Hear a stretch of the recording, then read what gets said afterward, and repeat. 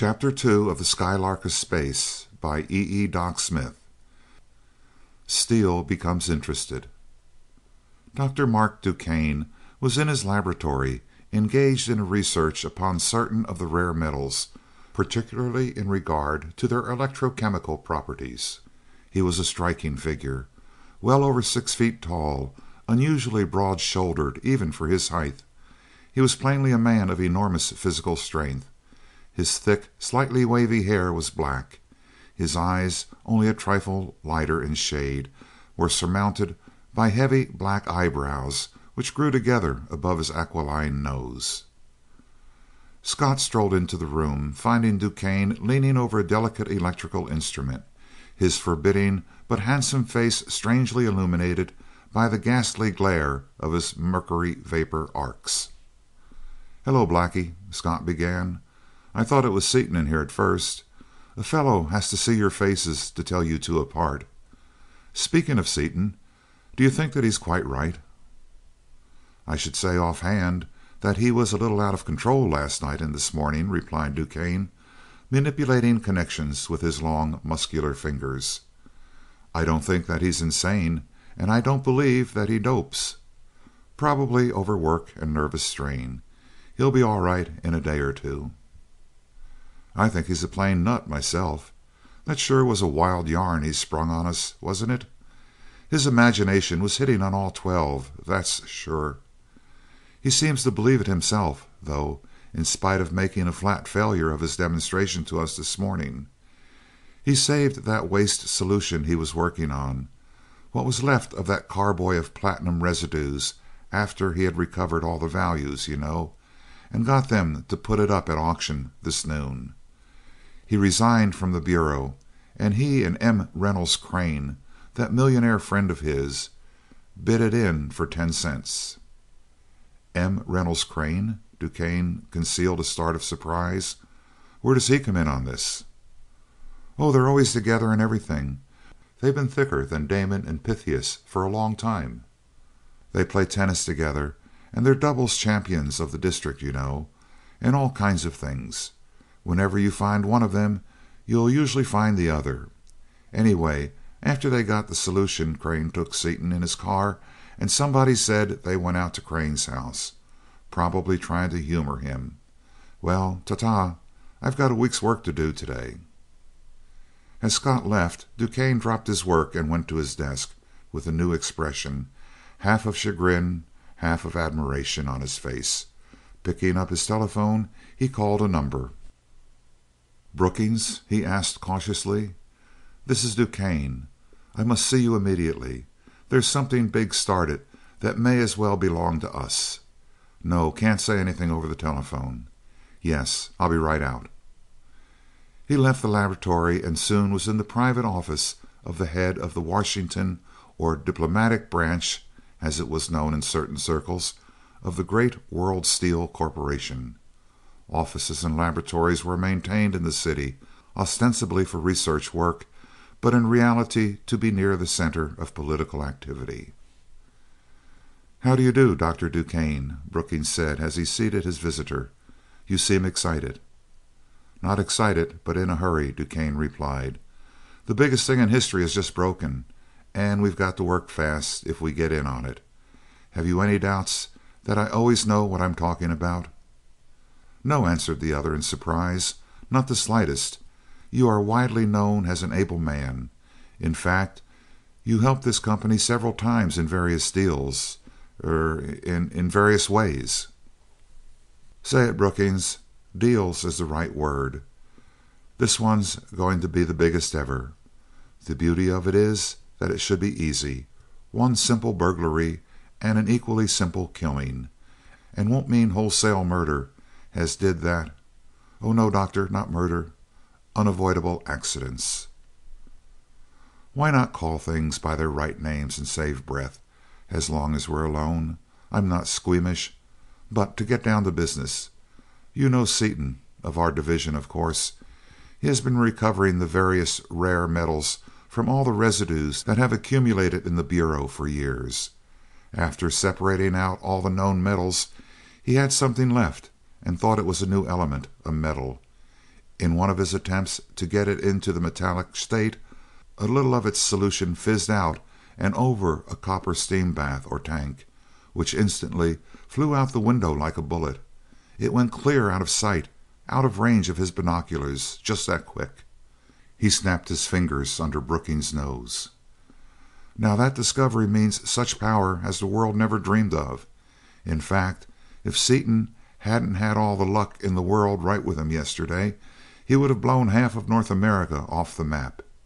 Chemists have known for years that all matter contains enormous stores of intra atomic energy, but have always considered it bound, that is, incapable of liberation. Seaton has liberated it." "And that means?" "That with the process worked out, the corporation could furnish power to the entire world at very little expense." A look of scornful unbelief passed over Brookings' face. "Sneer if you like," DuQuesne continued evenly. "Your ignorance doesn't change the fact in any particular. Do you know what intra atomic energy is?" "I'm afraid that I don't, exactly." "Well, it's the force that exists between the ultimate component parts of matter. If you can understand that a child ought to. Call in your chief chemist and ask him what would happen if somebody would liberate the intra atomic energy of one hundred pounds of copper." "Pardon me, Doctor, I didn't presume to doubt you. I will call him in." He telephoned a request, and soon a man in white appeared. In response to the question he thought for a moment, then smiled slowly. "If it were done instantaneously it would probably blow the entire world into a vapor and might force it clear out of its orbit. If it could be controlled it would furnish millions of horsepower for a long time. But it can't be done. The energy is bound. Its liberation is an impossibility, in the same class with perpetual motion. Is that all, Mr. Brookings?" As the Chemist left, Brookings turned again to his visitor with an apologetic air. "I don't know anything about these things myself, but Chambers, also an able man, says that it's impossible." "As far as he knows, he is right. I should have said the same thing this morning. But I do know about these things. They're my business. And I tell you that Seaton has done it." "This is getting interesting. Did you see it done?" "No. It was rumored around the Bureau last night that Seaton was going insane, that he had wrecked a lot of his apparatus and couldn't explain what had happened. This morning he called a lot of us into his laboratory, told us what I have just told you, and poured some of his solution on a copper wire. Nothing happened, and he acted as though he didn't know what to make of it. The foolish way he acted and the apparent impossibility of the whole thing made everybody think him crazy. I thought so until I learned this afternoon that M. Reynolds Crane is backing him. Then I knew that he had told us just enough of the truth to let him get away clean with the solution." "But suppose the man is crazy?" asked Brookings. "He probably is a monomaniac, really insane on that one thing from studying it so much." "Seaton?" "Yes. He's crazy like a fox. You never heard of any insanity in Crane's family, though, did you? You know that he never invests a cent in anything more risky than government bonds. You can bet your last dollar that Seaton showed him the real goods." Then, as a look of conviction appeared on the other's face, he continued: "Don't you understand that the solution was government property, and he had to do something to make everybody think it worthless, so that he could get title to it? That faked demonstration that failed was certainly a bold stroke so bold that it was foolhardy, but it worked. It fooled even me, and I am not usually asleep. The only reason he got away with it is that he has always been such an open faced talker, always telling everything he knew. He certainly played the fox," he continued with undisguised admiration. "Heretofore he has never kept any of his discoveries secret or tried to make any money out of them, though some of them were worth millions. He published them as soon as he found them, and somebody else got the money. Having that reputation, he worked it to make us think him a nut. He certainly is clever. I take off my hat to him. He's a wonder." "And what is your idea? Where do we come in?" "You come in by getting that solution away from Seaton and Crane, and furnishing the money to develop the stuff and build, under my direction, such a power plant as the world never saw before." "Why get that particular solution? Couldn't we buy up some platinum wastes and refine them?" "Not a chance," replied the scientist. "We have refined platinum residues for years, and never found anything like that before. It is my idea that the stuff, whatever it is, was present in some particular lot of platinum in considerable quantities as an impurity. Seaton hasn't all of it there is in the world, of course, but the chance of finding any more of it without knowing exactly what it is or how it reacts is extremely slight. Besides, we must have exclusive control. How could we make any money out of it if Crane operates a rival company and is satisfied with ten per cent profit? No, we must get all of that solution. Seaton and Crane, or Seaton at least, must be killed for if he is left alive he can find more of this stuff and break our monopoly. I want to borrow your strong arm squad to night to go and attend to it." After a few moments' thought, his face set and expressionless, Brookings said: "No, Doctor, I do not think that the corporation would care to go into a matter of this kind. It is too flagrant a violation of law, and we can afford to buy it from Seaton after he proves its worth. "Bah!" snorted DuQuesne. "Don't try that on me, Brookings. You think you can steal it yourself and develop it without letting me in on it? You can't do it. Do you think I'm fool enough to tell you all about it, with facts, figures, and names, if you could get away with it without me? Hardly. You can steal the solution, but that's all you can do. Your chemist, or the expert you hire, will begin experimenting without Seaton's lucky start which I have already mentioned, but about which I haven't gone into any detail. He will have no information whatsoever, and the first attempt to do anything with the stuff will blow him and all the country around him for miles into an impalpable powder. You will lose your chemist, your solution, and all hope of getting the process. There are only two men in the United States, or in the world for that matter, with brains enough and information enough to work it out. One is Richard B. Seaton, and the other is Marc C. DuQuesne. Seaton certainly won't handle it for you. Money can't buy him and Crane, and you know it. You must come to me. If you don't believe that now, you will very shortly, after you try it alone." Brookings, caught in his duplicity and half convinced of the truth of DuQuesne's statements, still temporized. "You're modest, aren't you, Doctor?" he asked, smiling. "Modest? No," said the other calmly. "Modesty never got anybody anything but praise, and I prefer something more substantial. However, I never exaggerate or make over statements, as you should know. What I have said is merely a statement of fact. Also, let me remind you that I am in a hurry. The difficulty of getting hold of that solution is growing greater every minute and my price is getting higher every second." "What is your price at the present second?" "Ten thousand dollars per month during the experimental work. Five million dollars in cash upon the successful operation of the first power unit, which shall be of not less than ten thousand horsepower, and ten per cent of the profits." "Oh, come, Doctor, let's be reasonable. You can't mean any such figures as those?" I never say anything I don't mean. I have done a lot of dirty work with you people before, and never got much of anything out of it. You were always too strong for me that is, I couldn't force you without exposing my own crookedness, but now I've got you right where I want you. That's my price. Take it or leave it. If you don't take it now, the first of those two figures will be doubled when you do come to me. I won't go to anybody else though others would be glad to get it on my terms, because I have a reputation to maintain, and you are the only ones who know that I am crooked.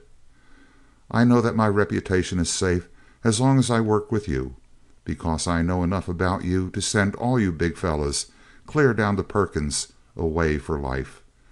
I also know that that knowledge will not shorten my days, as I am too valuable of a man for you to kill, as you did." "Please, Doctor, don't use such language." "Why not?" interrupted DuQuesne, in his cold, level voice. "It's all true. What do a few lives amount to, as long as they're not yours and mine? As I said, I can trust you, more or less. You can trust me, because you know that I can't send you up without going with you. Therefore I am going to let you go ahead without me as far as you can. It won't be far. Do you want me to come in now or later?" "I'm afraid we can't do business on any such terms as that," said Brookings, shaking his head. "We can undoubtedly buy the power rights from Seaton for what you ask." "You don't fool me for a second, Brookings. Go ahead and steal the solution, but take my advice and give your Chemist only a little of it. A very little of that stuff will go a long way, and you will want to have some left when you have to call me in. Make him experiment with extremely small quantities. I would suggest that he work in the woods at least a hundred miles from his nearest neighbor, though it matters nothing to me how many people you kill. That's the only pointer I will give you. I'm giving it merely to keep you from blowing up the whole country," he concluded with a grim smile. "Good bye." As the door closed behind the cynical scientist, Brookings took a small gold instrument very like a watch, from his pocket. He touched a button and held the machine close to his lips. "Perkins," he said softly, "M. Reynolds Crane has in his house a bottle of solution." "Yes, sir. Can you describe it?" "Not exactly. It is greenish yellow in color, and I gather that it is in a small bottle, as there isn't much of the stuff in the world. I don't know what it smells or tastes like and I wouldn't advise experimenting with it, as it seems to be a violent explosive and is probably poisonous. Any bottle of solution of that color kept in a particularly safe place would probably be the one. Let me caution you that this is the biggest thing you have ever been in, and it must not fail. Any effort to purchase it would be useless, however large a figure were named. But if the bottle were only partly emptied and filled up with water I don't believe any one would notice the difference, at least for some time. Do you?" "Probably not, sir. Good bye." Next morning, shortly after the office opened, Perkins, whose principal characteristic was that of absolute noiselessness, glided smoothly into Brookings' office. Taking a small bottle about half full of a greenish yellow liquid from his pocket, he furtively placed it under some papers upon his superior's desk. "A man found this last night, sir, and thought it might belong to you.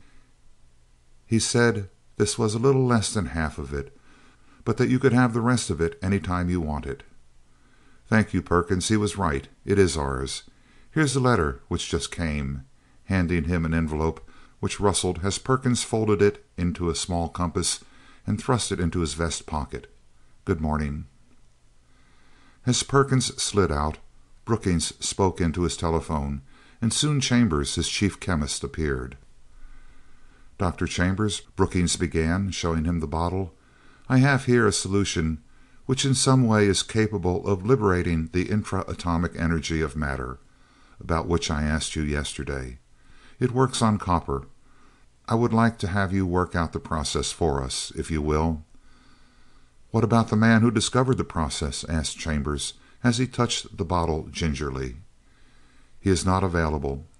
Surely what one chemist can do, others can. You will not have to work alone. You can hire the biggest men in the line to help you. Expense is no object." "No, it wouldn't be, if such a process could be worked out. Let me see, who can we get?